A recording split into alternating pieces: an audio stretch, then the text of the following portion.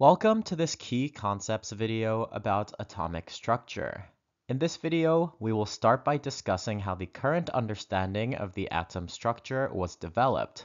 We will then talk about what's inside atoms and how this relates to the atomic and mass numbers. Next, we will talk about the concept of isotopes and ions. And finally, we will go over the concept of relative atomic mass and discuss how we measure the mass of an atom. All materials are made up of atoms. The word atom was coined by the ancient Greek Democritus, who suggested that matter consists of small indivisible particles. John Dalton provided support for this theory in the early 1800s, when he noticed that the mass percentages of the elements in a compound can only change by fixed amounts. For example, nitrous oxide, N2O, is 36% oxygen, nitric oxide, NO, is 53% oxygen, and nitrogen dioxide, NO2, is 70% oxygen. Compositions between these are not possible. This rule, called the law of multiple proportions, is only possible if molecules consist of particles with fixed masses. But what do atoms look like? J.J. Thomson discovered in 1897 that atoms contain electrons, and showed that the mass of the electron is much less than the mass of the atom. He proposed the plum pudding model of the atom, in which negatively charged electrons are embedded in a sea of positive charge. Working between 1908 and 1913, Ernest Rutherford and his colleagues discovered a problem with the Thomson model. If positively charged alpha particles produced by the radioactive element radium are fired at a metal foil, most of the particles pass straight through without being deflected. However, a small number of particles are strongly deflected. This suggests that the positive charge of each metal atom in the foil is concentrated in a small nucleus at its center, and that the rest of the atom is mostly taken up by empty space.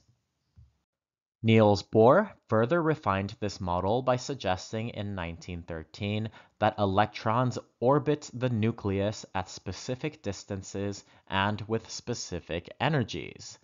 This model works well, but suggests that the electrons orbit the nucleus at specific radii. In 1926, Erwin Schrödinger showed that this is not really the case.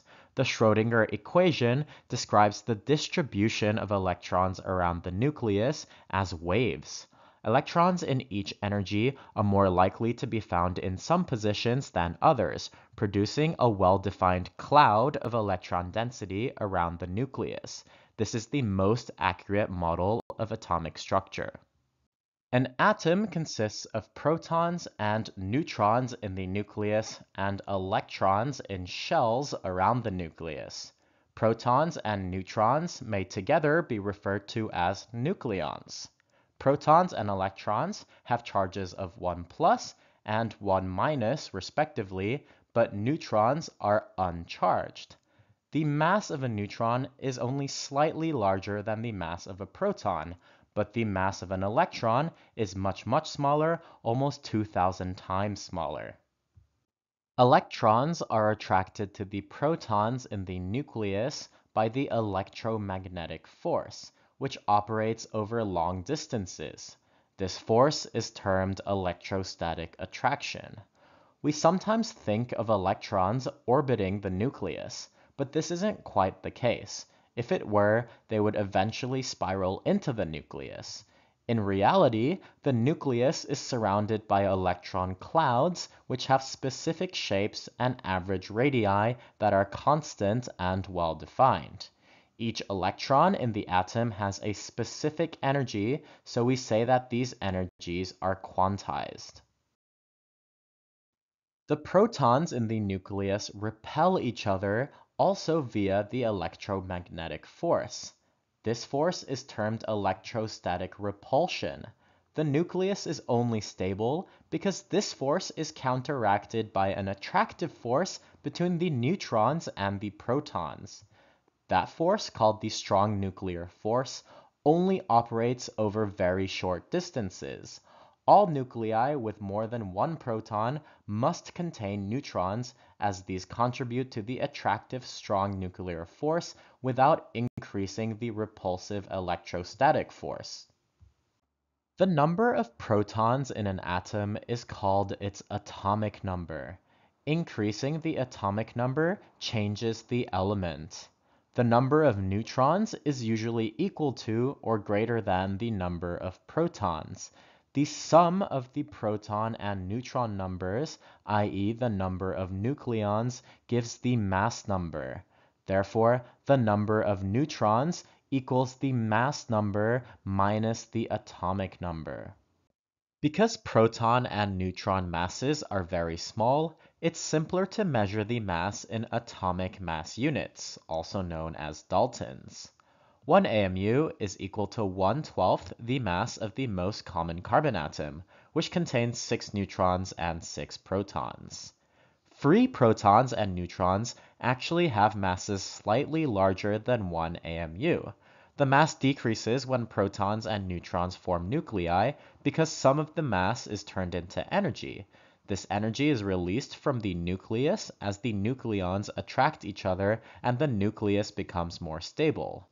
Therefore, the mass of an atom is not exactly the same as the mass number. It's usually slightly larger. The mass number is always a whole number, whereas the atomic mass is a decimal number. For an atom to be electrically neutral, it must have an equal number of electrons and protons. Therefore, in a neutral atom, the number of electrons is equal to the number of protons.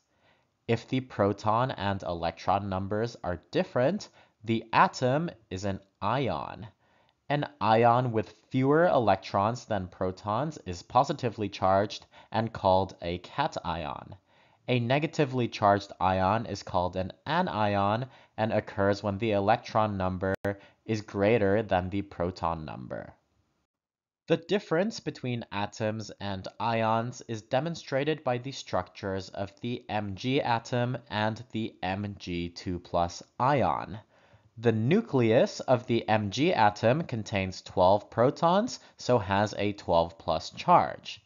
A neutral Mg atom contains 12 electrons with a total charge of 12 minus. So the net charge would be 12 minus 12, which equals 0. In the Mg2 plus ion, there are still 12 protons in the nucleus, but two electrons have been removed. So the total charge is 12 minus 10, which equals plus 2. Atoms of an element always have the same atomic number, but they may have different mass numbers due to the variation in the number of neutrons. Several neutron numbers are possible because there can be multiple stable arrangements of protons and neutrons in which the electrostatic repulsion between protons is counterbalanced by the strong nuclear force between nucleons. Atoms with the same atomic number but different mass numbers are called isotopes. An isotope of an element can be represented as a letter symbol with a superscript and a subscript to the left of the letter symbol. The letter symbol represents the element, the subscript shows the atomic number, and the superscript the mass number. Because isotopes contain the same number of protons, the electrostatic attraction between the protons and electrons does not vary. Thus, isotopes form bonds with very similar bond energies, producing materials with nearly identical physical properties. Some isotopes are unstable. Unstable nucleons undergo nuclear reactions to produce nuclei with more stable arrangements of neutrons and protons, and this usually changes the elements. Real samples of an element often contain a range of isotopes, so the atoms of that element can't be said to have a single mass. For this reason, we usually take an average of the atomic masses of the atoms in the sample. This is the relative atomic mass, or RAM. If there are two isotopes that are equally abundant, the RAM is halfway between the two isotopic masses. This is approximately the case for bromine. The natural element is roughly a equal mixture of two isotopes, bromine 79 and bromine 81. So the RAM is 80. And what happens if the isotopes are not equally abundant? We can imagine adding up the masses of all the atoms then dividing by the number of atoms.